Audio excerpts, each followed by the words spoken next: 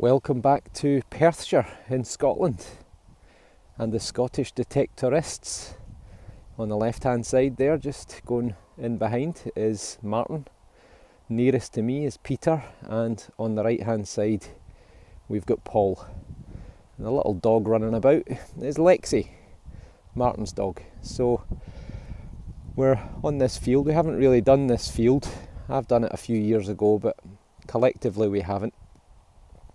First of all, though, a shout out to West Country Clegg, who gave me a fantastic shout out on Friday night or Saturday. That was hugely appreciated. And also a big thanks for all the new subscribers. Hopefully, you're enjoying what you see. This field's got a huge amount of history to it. There's some monuments around the edges of the field and in the next field over, which date way back to the Neolithic period, so they're many thousands of years old. So let's see what we get. So far, we've had two ring pulls for me.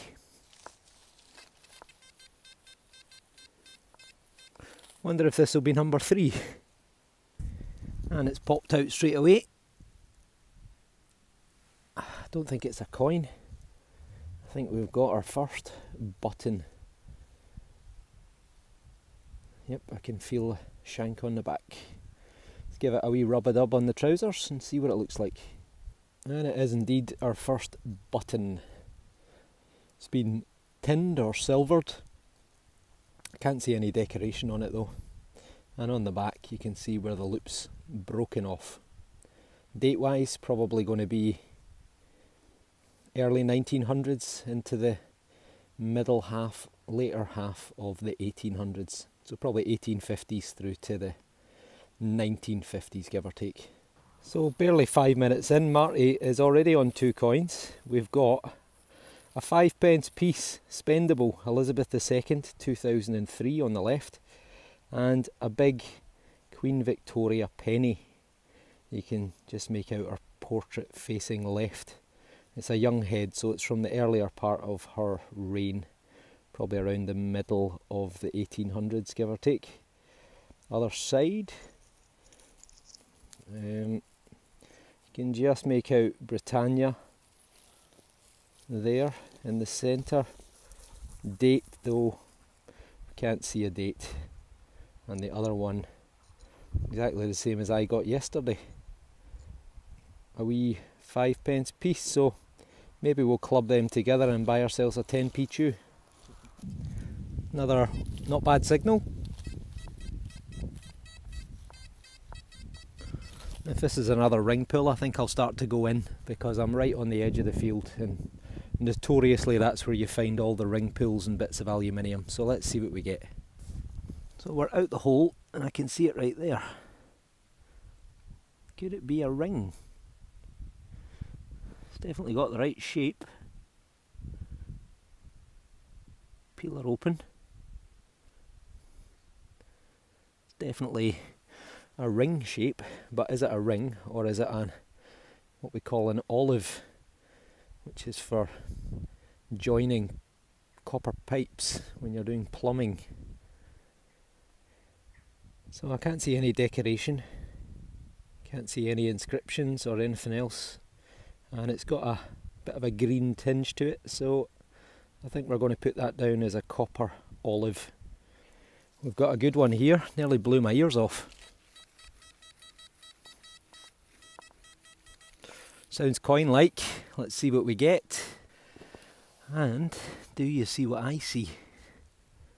We have got, I think, our first coin.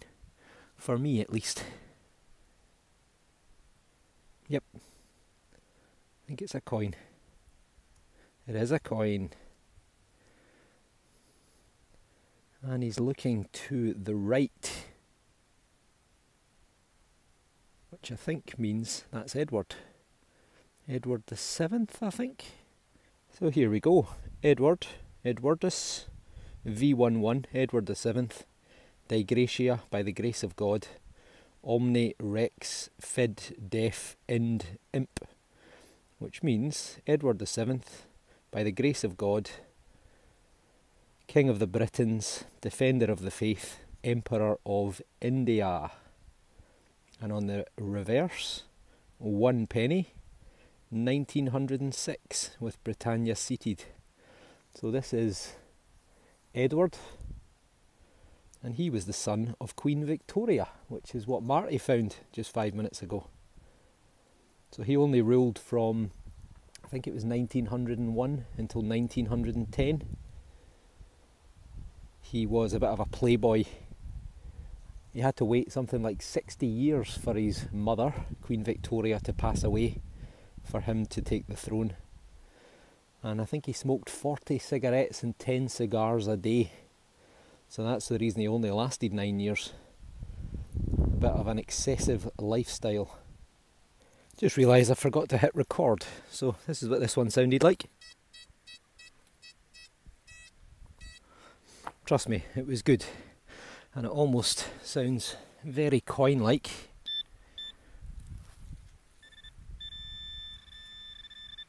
That there. That's it there. And it is a coin, I think.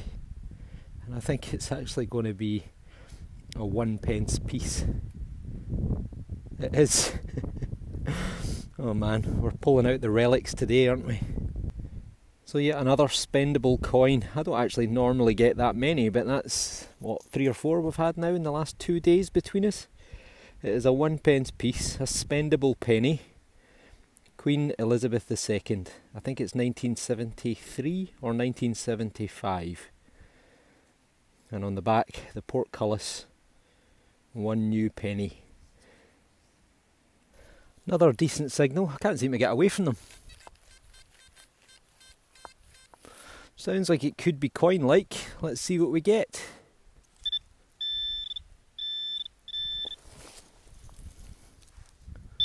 It's there. Oh, it is.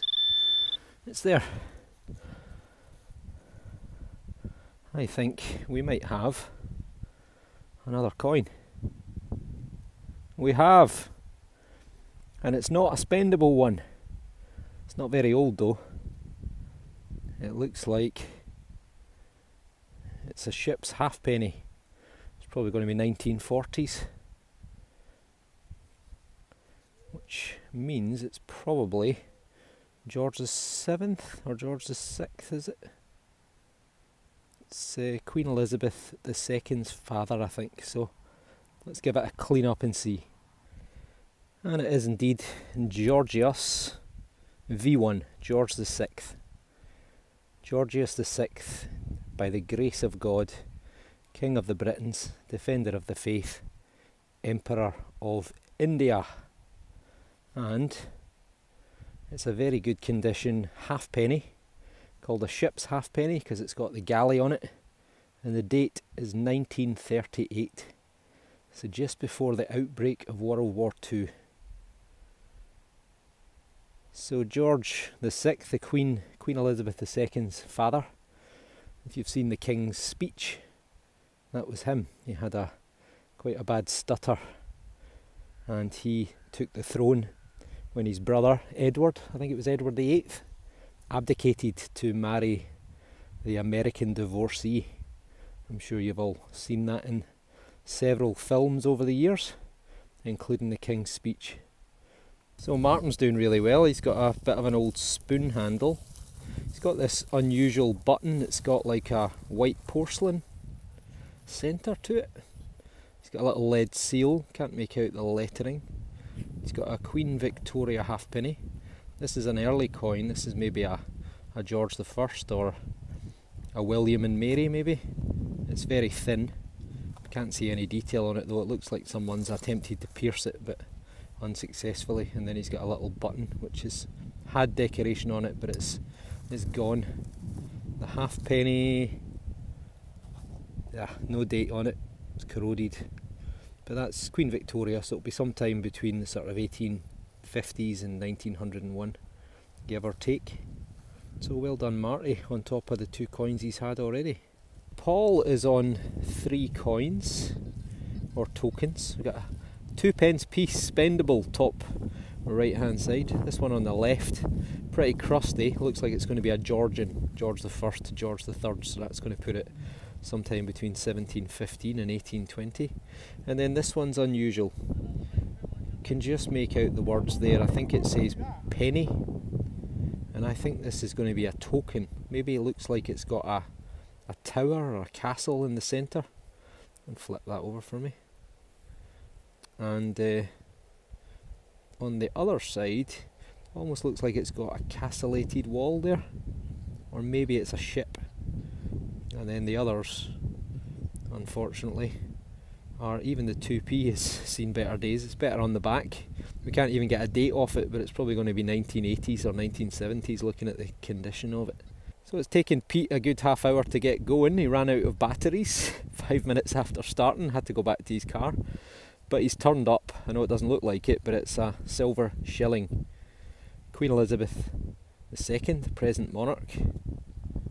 Gratia Regina Elizabeth II. And then I think that's Def, is it? Defender.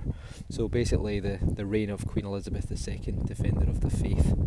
On the back, one shilling. Oh, there we are. Fid Def, so Defender of the Faith. 1954. And you can see the three lions of England in the centre. And the reason it doesn't look silver is because after 1920s, I think it was, they reduced the silver content to 50%, and then sometime after that they did away with it altogether. So even though it's called a silver shilling, there is actually as far as I'm aware, no silver in it, which is why it goes this corroded way. But originally it would have looked silver. End of the day, Pete's got his first coin, so that's us all had at least one coin. So another coin for Martin. I've got a good signal right here, which I'll dig in a minute. Almost sounds silver. We'll find out in a second. So Queen Victoria, pretty corroded. You can see Victor just there, facing to the left. It's a young head, so I'll put it in the earlier part of her reign. Get a date at the bottom, 1860 maybe, or 1866 possibly. And it's a well corroded halfpenny. But it's a coin. What's that, number four? Four for Martin. He's in the lead. Let's see what I've got now. So this is my signal right here.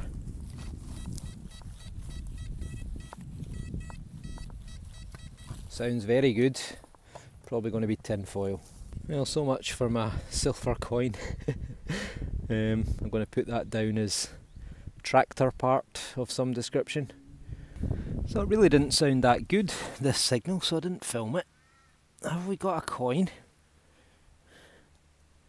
Bit of a nightmare to track down.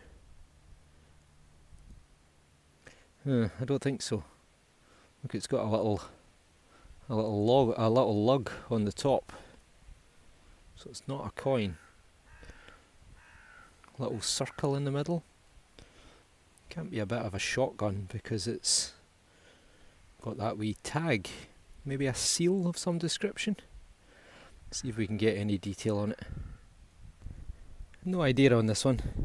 It's obviously nothing particularly important or valuable, but sometimes you find these little bits and you always wonder, what the hell was that? If anyone knows, let me know. There we go, Martin's found a seahorse. What do you think? it's definitely got the right head shape for it, but uh, I think we can put that down as a bit of farm machinery. But he has, however, turned up a nice wee interesting thing, which is this. It is a little that's the back so it's would have had a pin. And on this side look at that it's got a lovely red enamel. There's a figure in the middle and the writing seems to say health and strength league I've never seen one of them before it looks like there's been lettering in the top but it's because it's not enamelled there it's illegible. Need have a wee look on my phone if we've got a signal, try and figure out what that is. Interesting anyway. There's Marty's other recent finds, looks like a bit of a flywheel. And someone in the fields has been doing a little bit of drinking because we've got Johnnie Walker and Sons of Kilmarnock. They were still based in Kilmarnock, but I think they've actually just recently closed their factory and moved somewhere else. And then another big horse buckle made of iron, probably not very old, um, 1900s, maybe into the middle of the 1800s. Probably off a big Shire horse that would have worked the field. Still, good finds. And Pete's turned up the oldest find to date. Not that. Not that. Which is this. It's another hammered coin. But it's a Scottish hammered coin and it's from a time when Scotland didn't have very much money. So, unlike in England, when they made their coins from silver, we were making them from copper. And this is a copper turner, which is a two pence piece and just in the middle there you might just be able to make out a silhouette of a thistle. There's the head right in the middle and the two leaves coming off to either side. So that's the oldest find so far. It's going to date to either Charles the First or Charles the Second. That puts it sometime between 1625 through to about, I think he was on the throne till about 1670, 1680. So a 17th century hammered copper coin and you can see how thin it is. They don't survive very well in the soil. Sometimes you get some nice ones though, but at least you can tell a little bit of detail on that. And on the back it would have said the letters C and R for Charles Rex. And then there would either have been a a little 2 at the side to say it was Charles II or it would have just said CR which meant it would be Charles I. But a great little find, shows you there's some good history here. So this signal wasn't the best, however, look what's just popped out as soon as it's hit the ground. I think we've got another spendable. I think that might be a 10 pence, maybe a 2 pence.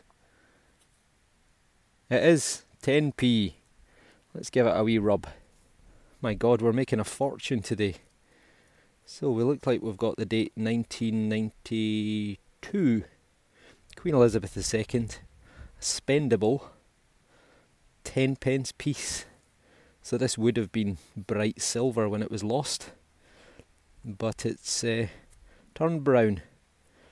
But that's us up, I think, about 15 pence already. It's going to be the best haul we've had in years.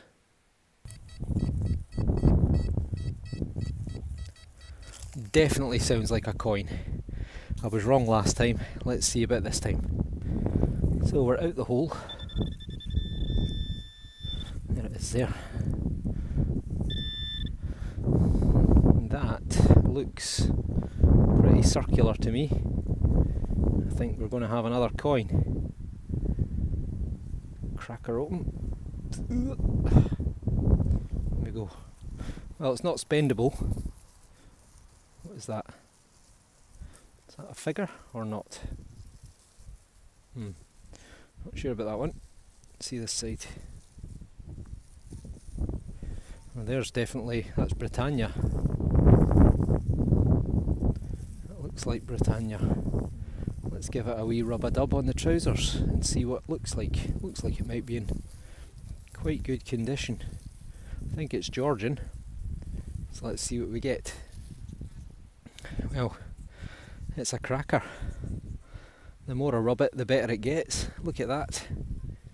Georgios 1 1 and he's facing left and then the words Rex just there. So that is George the Second. Haven't had a good one of him for a while. Very nice. And on the other side looks like we've got the words Britannia and then there would be a date down here but I don't think I can get it clean enough for that. Nope, I think it's it's gone. Yeah, can't see anything there. But Britannia seated on the back. He was on the throne from I think it was 1727 until 1760 and then his grandson George III took the throne this is from a really interesting time in Scottish history because George II, his son, the butcher, the Duke of Cumberland, the butcher Cumberland that he's known in Scotland. He fought against Bonnie Prince Charlie and the Jacobites at the Battle of Culloden in 1746, and then he committed some of the most awful atrocities against the Highlands, particularly the the Jacobite supporting clans, what today would be called ethnic cleansing or genocide. So George II, defeater of the Jacobites, he's also the last uh, British monarch to fight in a war. He fought during the Austrian succession, which was a, a conflict that lasted through much of the 1740s. So he fought, I think if I remember rightly, it was in Austria. And uh, it's not a halfpenny, I think that's going to be a farthing, maybe. And a farthing is a quarter of a pence. But it's in great condition. Probably helped by this sandy, stony soil at this end of the field. Bit of cracker, so that takes us right back to the time of the Jacobites and Bonnie Prince Charlie. Over the moon with that, that's my best find so far by a long way. Right, ladies and gents, so I've just found this coin. Martin was coming in my general direction saying that he had something for me to have a look at, right? I'm proud as punch on my little George II, what I think is a farthing, which would be a quarter of a pence. And uh, that's from the Jacobite era, which is my favourite sort of period in history. Now, people are going to see this video and they're going to be like, these guys are at it. Um, but Martin, at the other end of the field, finds something, sticks it in his pocket, detects in this general direction, and he says to me, "Have a look at this. I think it. I think it's maybe a bottle top. I've shown it to Peter. Uh, what do you reckon?" Now, he showed me that. Now I've actually got goosebumps at the moment holding it. and there's Marty looking pretty happy with his Scottish detectorist hoodie on. Now, I'll tell you because you can't see because, or you can't feel it because I'm holding it and you're not. But this is very heavy. As soon as he put it in my hand, I thought, that's not a bottle top because it's too heavy. Then I rolled it over and I can see a crown at the top and various bits of lettering around the edge. Now, what's throwing me is see at the edge, it almost looks silvery rather than gold. But I'm going to stick my neck out and I'm going to say that I think Martin's just found a gold hammered coin. Now, there's one edge there, which you can see it's folded over, and there's the other edge here. You can see crowns, you can see letters around the outside edge. It's a big coin. That's going to come out to about my thumb. And I think that is a gold noble, which I think means it's English. And we're in Perthshire in Scotland. And I just found a quarter gold noble last week in South Gloucestershire.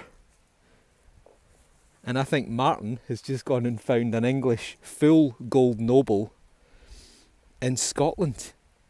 It is heavy, it is shiny, and it looks like it's made of gold. Martin's never found anything gold. He's only been metal detecting for a year, less than a year, nine months. And I think he's found a gold medieval hammered coin.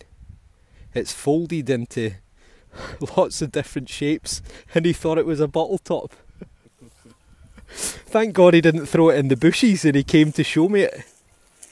But if this is if this is a gold hammered coin, and I think it I think it is because if it's a replica, why would someone bring a replica into a field, fold it up, and throw it away? It doesn't make any sense. That has to be a gold hammered coin, and if it is, it's a once in a lifetime find, and it could be worth a fortune. It would need to be professionally straightened. Oh, Martin, what have you done? Thank God you didn't throw that in the bushes. There's a face of, of excitement of. Uh, I can't believe it. I really can't believe it. People are going to think we're at it. Two gold hammered coins in a week between us. The dog has brought luck. Lexi, well done. Well done, Lexi. Well done. Oh, give it again. Let me see it. Martin shaking. That is, that has to be a gold hammered coin. And it's going to be a whopper. Look at the size of it. Right, we're going to need to investigate this further, but there's no doubt about it. That is a big coin, and it looks like it's solid gold. Look, you can see a lion there, you can see a crown just there. You can make out some lettering around the edge, and on the other side, you can see another crown here. You can see this strange design going on here. It's like a face with two eyes.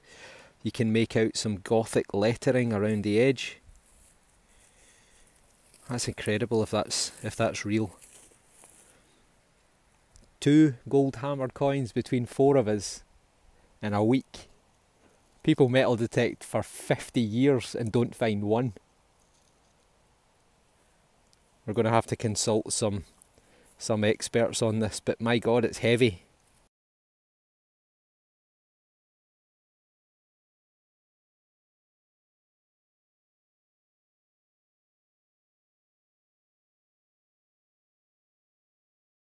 Right, we've I've I've found gold twice and I haven't done a gold dance. Marty we think has found gold, so he's gonna do a wee gold dance.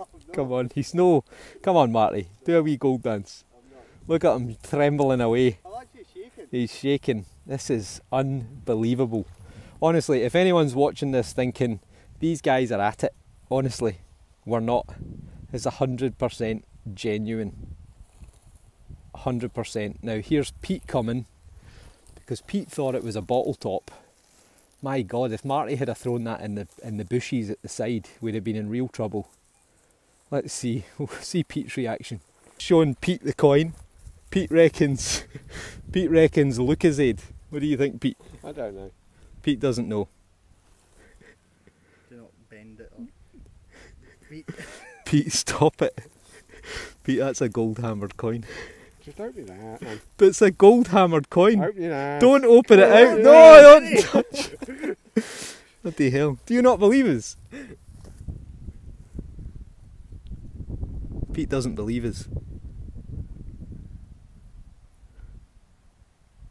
Pete's starting to believe us. The penny's dropping. No, don't. I'm not.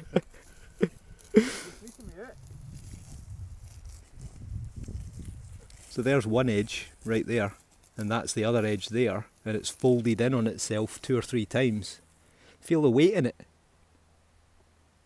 I think it's a gold noble or something like that. It's definitely too heavy to be a bottle top, isn't it? Now, Pete, have you found anything like that and thrown it in the bushes? No. Thank God. if I had. Thank God for that. Right, we're going to go back and check where Marty found this just in case there's any more. What's thrown is is the edge, Because Mm, it's not gold. but it could be that it's not pure, pure gold and the edge is deteriorated slightly. But if that's a gold coin, then that's. If that's, to be fair, weight, if that's not gold, that's lead. ah, It can't be lead. It would have gone white if it was well, lead. that's what I mean, but That's that's going to be incredible if that's a gold coin. That could be worth a small fortune. Right, everyone's watching this just now, going, "Don't let them touch that coin." right, we're going to have to we're going to have to go back to where it was found, and we're going to have a search and see. Who knows? Maybe there's a flipping chest full of them. that's an eight there, isn't it? No, I thought it was a face, like a pair of eyes almost. I'm going to have a quick look on my phone online and see if there's is it a B? See if there's anything else. It could be like a letter B, yeah. Right, we're going to go and have a look and see. Lucozade. Pete still thinks Lucozade. so there we go. The Scottish detector ists, because we've become plural now, because originally it was just me, but this lot have joined in. With potentially two gold hammered coins in a week at opposite ends of the country. So I've just figured out, Marty found that coin at around about three o'clock and it's Sunday today and uh, that would be exactly seven days from the time that I found that gold quarter noble in South Gloucestershire at Detectival last week. Seven days almost to the minute it looks like Marty's found a gold hammered coin. So I'm going to do what I do best when we find gold coins. None of this dancing malarkey. I'm just going to lie down and de-stress because this is incredible. Oh, can't believe it. I didn't even find it, but I'm his mentor. So incredible. So Pete's just given out a shout that he's got a silver ring, and he has got a silver ring. It's broken at the bottom. We're around the fine spot of where the gold coin came from. What we're talking, maybe 10 metres away. And I think that that is medieval. Looking at the bezel and the plain decoration. This is incredible. That is fantastic. Well done, Pete. Anyone any ideas on a date for that? Be interested to know if it ties in with whatever date you think the gold coin might be. I've done a quick look online and I think it might be what's called a rose noble or a gold ryal or ryal R Y A L which might make it around the same time as my gold coin, sometime in the 13 into the 1400s. We think that the what looks like a pair of eyes and a face might actually be an E, a letter E, and it would be in a flag that would be on a basically on the ship, on the the heads side of the coin. And we think it's an E for Edward, so it could be Edward the Third, or it could be Edward Fourth. So that would put it sometime in either the 1360s or in the 1460s, I think. But this is obviously very, very promising. Right, we're still in the search area so far, apart from that silver ring that Peter got. Uh, nothing else. Marty, though, just turned up this thing. Looks like it's got a hole through it. It feels like it's. I don't know if it's iron or if it's bronze. It's a hefty thing though. Anyone get any idea what that might be? Don't think I've ever seen something like that before. It looks too thick to be, you know, plough related, but could it be the broken tip of a plough? But even then, it's not. It's not rusted. And if it was a plough tip, I would have thought it'd been iron. So uh, let me know if you know what that is. We'll put it somewhere safe. So Lexi has been our good luck charm, wagging her tail. Final find for Martin. Look at that for a bullet. Oh, focus. There we go. Look at that. That's the most bizarre looking bullet I think I've ever seen. Um, any idea what that is? What calibre? What age? Almost looks slightly hollow inside as well. There's not a lot of weight to it. So if you know what that is, let us know. This is the point in time where we normally go through all the finds and show you what we've got, but there's not really much point. It all pales into insignificance when you look at this. So this is Marty's first ever gold coin. How long have you been detecting for? Nine months. Nine months. It took me 21 years to find my first, which was a half sovereign, and then it took me to 22 years to find my first gold hammered. And in nine months, Martin's found his first gold hammered coin. So we've been looking a little bit online, trying to find out a little bit more. We think it's a, a type of gold noble called a rose noble or a, a gold ryal, R Y A L. We're not certain. Um, but what's given it away is what I mentioned earlier, which is the See this face up here, which we thought looked like a pair of eyes, almost like a cat. It looks like that is a flag with the letter E in Gothic typewriting, and uh, that would make it probably Edward the Third or Edward the Fourth. So that's going to make it sometime in the 1300s into about 1460, 1470. So we're going to have to do some further investigations and see about getting this straightened out professionally. But there you go. Beyond that, we actually did brilliantly. We got a mountain of coins, buckles, bolts, buttons, you name it. But uh, this steals the show. Paul's just come over to show me his wee pile, so let's let's uh, humour him. We'll give Marty back his his gold coin. We'll rest that on his hand. So Paul managed.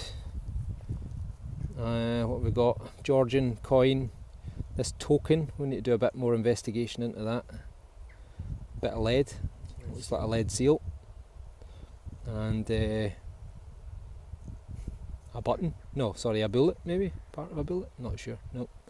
That's a hem, a lady's skirt hem to hold it down, stop her doing a Marilyn Monroe in the field, blown up over her head.